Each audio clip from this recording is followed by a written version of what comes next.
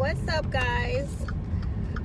Oh my god. Okay guys so update of from last week. So i took that dreadful proctored exam the comp predictor. That test was hard. So i took the test right and i cried halfway through the test. I cried i gave up in my heart. I said, you know what? I failed this test because I knew that I was guessing all the way through on the majority of the questions. It was 180 questions, and my heart sank. I said, God, you know, before I took the test, I prayed. I'm like, God, please help me because I studied for this. It's not like I'm asking you to give me a miracle I did the work. I put the work in. So it, I was praying. I was like, God, help me. So after the test, I'm looking. I'm home, y'all. I'm coming back from the doctor because now I have the time to actually go. So, so after the test, I'm looking at the finalized report and I'm looking for that 90 percentile because that's what I need to pass the program. Now, with my school, you have to pass this exit exam to pass the program, and I'm sure other schools have the same requirement. So I'm like, okay, God, I need to pass. I want to pass on the first try because the second, doing it the second time, is just going to kill my spirit, and I just can't. I just can't take that pressure of knowing that if I don't pass it this time, the second time around, I'm done and I'm through, and I got to go now, sign up for another program and try to do it because I'm done with this school. And I'm like, God, I don't want that happening to me. I put in too too much sacrifice here. So I'm and I'm looking, I'm like, okay, where is this percentile that I need? And I'm looking, I'm looking, okay, so my score was 85.3.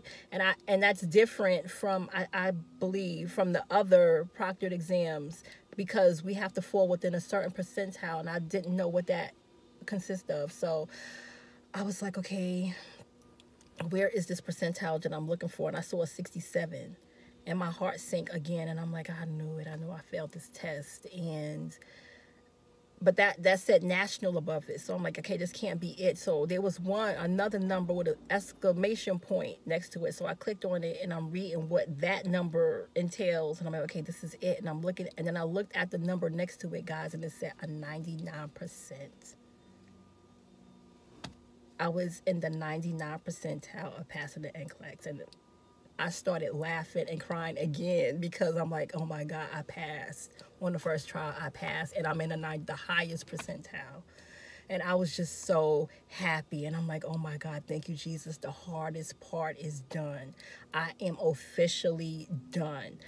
And I was just so happy. And, and, you know what? A lot of people said, all my other classmates they went through too. They passed, thank God. And they were saying they thought they failed. A lot of people say the same thing about, you know, that's the same testimony that people give. You know, they thought they failed too, but in actuality, they passed. So, guys, yeah, I don't know how happy I am that I passed this test.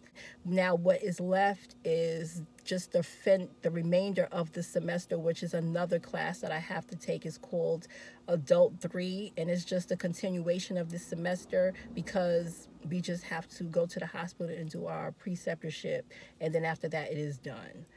And when that is finished, I get my sit pass and I can go on and sit for the NCLEX. I am also taking another class, which is a leadership class, and it's just a one credit class. I have not cracked open the book. And remember, I was telling y'all that I have to take the proctored exam on that, and I was going to wait till Tuesday, which is tomorrow, to take it. Well, I actually took it, and I did fail it because I knew it was just I was just taking a chance. So I took it last. I took it on Friday, and I failed it. So I have to take it again tomorrow. I have an option of taking it tomorrow or take it on the retake day. I just might just take it tomorrow and just get it over with so I don't have to worry about any more exams. I do have another unit test for this exam, but that's on December 1st, but it's open book. I'm not worried about this class. It's just a one credit class and I do have to pass it, you know, but it's not like the med surg class that I have to pass, you know. I'm at a 94 in this class, even if I don't do well on the test that's coming up on December 4th, I still I'm still gonna pass the class. So I'm not even worried. I'm not even stressing over this class. But I am gonna I'm just gonna take it tomorrow. With this failing the proctor doesn't take any points away. I just don't get any additional points. So I'm not really worried about it. I don't care if I fail again tomorrow. But I'm going to try my best and give it my all. I'm going to go do some practice questions and study and brush up on some concepts that I wasn't really sure about and just going to take the test but i'm just so happy that i'm done. My family gets to have me back i get to have my family back. Yesterday we went to the park and we just enjoyed the day together and i am just so happy that i can breathe. I can sit and drink some tea. I can watch christmas movies. Oh my gosh. I'm so happy. I can watch christmas movies and not feel guilty about having to study anything. Now i do still have to study because i still have to prepare to take the NCLEX, but it's not like that mandatory I must and I have to or else type of mentality that I have with, you know, that comes with nursing school. I am just so happy that it is done. You know, like Jesus said, it is finished. it's finished. And I'm just so happy.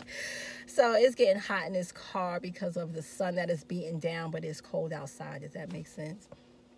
So let me just go. I'm going to go in the house and, you know, start doing some more review questions for this test that I have tomorrow. And just kind of like brush up on stuff and watch a Christmas movie in between. so I'll talk to you guys later. Thanks for watching. Bye.